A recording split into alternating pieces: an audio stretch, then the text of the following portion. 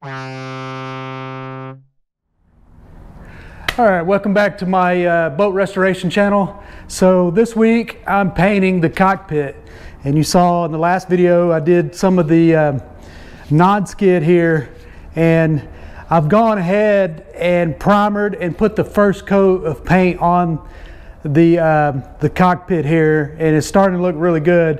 And I've got my paint mixed up and I'm about to do the second coat and I will do an additional coat every day uh, or maybe twice a day until I get the correct thickness on here. And then uh, depending on how it looks, I'll go back to, to the, uh, some of the areas and I'll wet sand and buff that to get it um, as smooth as I want.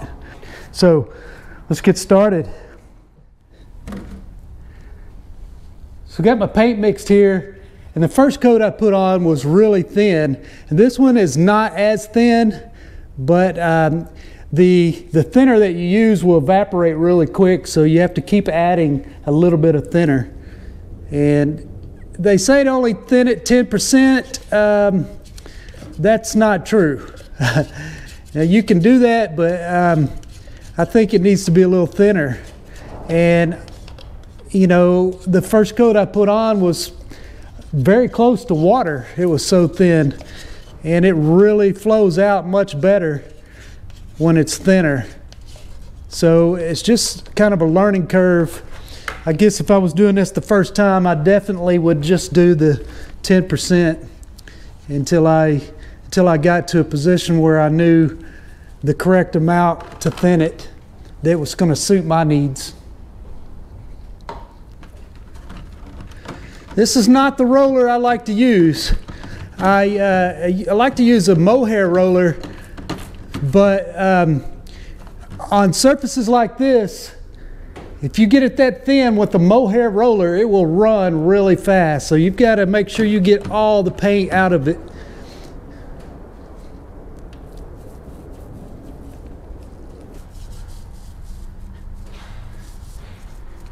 Actually, this roller is not is not doing very well.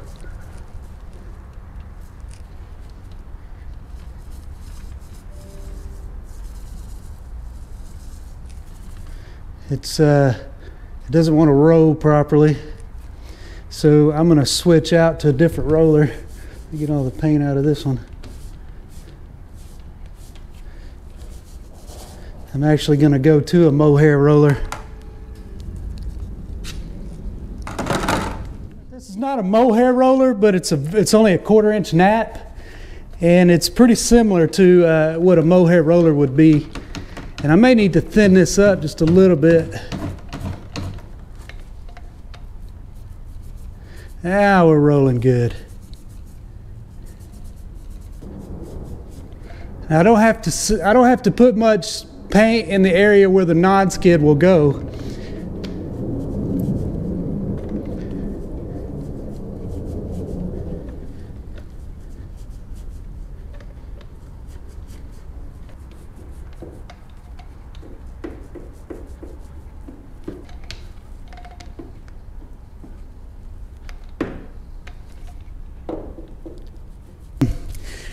There's a lot of areas here on the boat in the cockpit that I can't get a roller to. So in that case, I'm going to use this foam brush and just kind of hope for the best in some of those areas.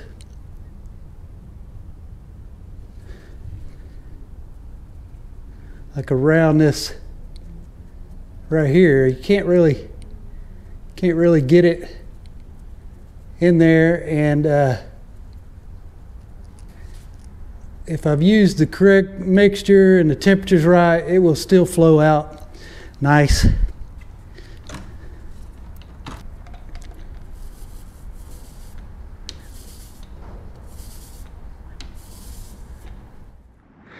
All right, so that is the finish of two coats. I am out of paint, so I've got to order more paint and I'm gonna let this dry I'll sand all this by hand to scuff up the surface and then lay probably two or three more coats over it. But the texture come out really nice. Um, I don't know if you can see it or not, but uh, by painting over that, it really looks nice. So on the rest of the, the deck here, I'll just do it a little more aggressive so that, um, you know, provide more, uh, more grip. And then I'll paint over it, just like I did in the cockpit.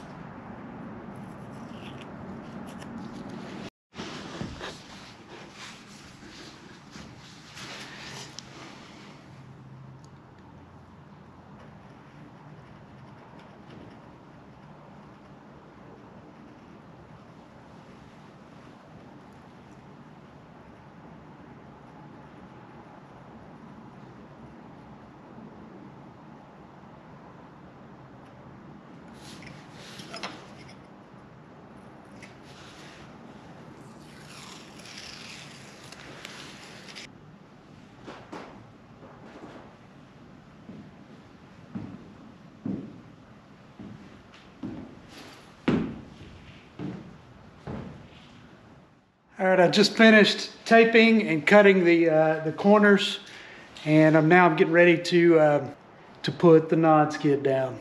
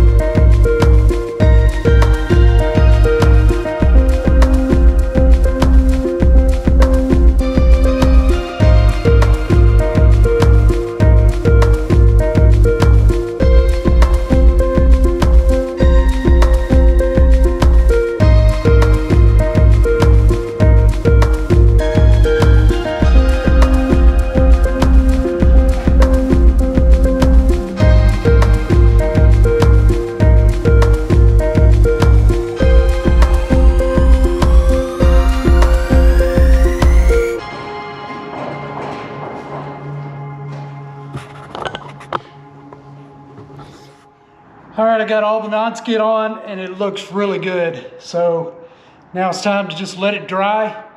And uh, so I think this is definitely the best way to put non-skid on. I mixed a little bit of uh, silica in with the uh, high build, Alexseal high build primer. Just a little bit to, to thicken it up, to give me a, just a little bit more aggressive uh, texture. And the trick is to use a regular roller to roll it on and then come back over it with the textured roller. You don't want to put it on with the textured roller. Uh, you definitely have to use just any old regular roller to put it on and then come over the top of it with the textured roller. All right, so I'm back here in the uh, storage building and while I've been waiting on everything to dry and I'm wait still waiting on paint to come in, I went ahead and started working on the plexiglass windows. So I'm going to take out the traditional uh, aluminum frame windows and glass windows. and I'm putting in a, uh, some plexiglass windows. So I went and I bought some, uh, this is quarter inch tinted plexiglass and I used a template and cut it all out with a jigsaw and then finished my, my edges real nice made sure they were straight and smooth and then I went over it with a uh, with a router and I round over the edges. I've got this done and uh, I'm not going to do this project yet. I'm going to wait till I finish putting the paint on the deck but let's go up and take a look at the non-skid all right so here it is and uh, I don't have much of a light so I hope you can uh, hope you can make out this non-skid but it's really uh, it's just perfect. Um, if you can tell the, the the edges here might can see it better down here. But it really is it turned out really nice. And unfortunately like I said I don't have my light and I haven't used my cell phone light. But um, it's just a perfect perfect texture and I will, um, as soon as I get the paint, I'll go back over everything, clean it up, and then paint it one more time for the last and final, final uh, paint. And this this will be done. I'll start putting the the um, hardware back on, the mast, getting it ready, put the windows in, and uh, be time to take this to the lake. So anyway, this portion is done. I'm just waiting on some paint. And as soon as my paint comes in and the temperature's right, I will uh, paint the entire deck and, and um, cockpit here one final time. And that will, uh, that will finish the painting of the, uh, of the deck. And, um, but that's all the time I have for this video. Um, hopefully in the next video I'll have the paint and we can get this finished and start on to something else. So thanks for watching and I'll see you in the next video.